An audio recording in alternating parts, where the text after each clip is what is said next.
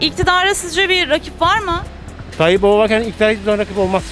Olmaz mı? Olmaz. Mümkün değil. Olmaz. Neden?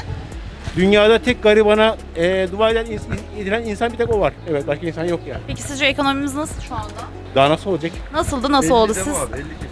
IMF, IMF'den para almıyoruz. Daha ne olsun? Sandıkta da değişir mi, değişmez mi? 10 sene daha böyle gider ablam. 10 sene. Evet. İktidara e, şu anda bir rakip var mı sizce? İktidara rakip çok ama çalmasalar.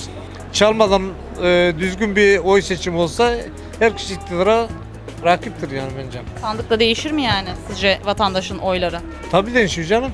Fikirler değişir mi? Yine AK Parti mi gelir iktidara? Ya bak ne diyeyim e, ben de koysam şu anda başbakanlık kazanırım. Ama sandıkta çalmasalar her kişi kazanabilir. Öyle mi diyorsunuz? Evet öyle diyorum yani. Ekonomimiz nasıl peki sizce şu anda? Ekonomik di- dibe çökmüş vaziyette. Hani halkı patates soğana kadar düşürdülerse vah haline yani. Halimize yani. Düzelir mi? Hiç sanmıyorum düzeleceğini. Daha dibe gidiyor. Daha mı dibe gidiyor? Daha gibi. Diyordun televizyonda e, IMF bizden para istiyor, para istiyor. Biz borç veriyorduk IMF'ye diye ama şu anda dünya geneline baktığın zaman %30 e, gibi bir faiz öden e, devlet Türkiye vardır. IMF'ye en yüksek faiz öden Türkiye vardır. Üretmeden bir yere varılmaz. Hep ihracat ihracat yapmayacaksın.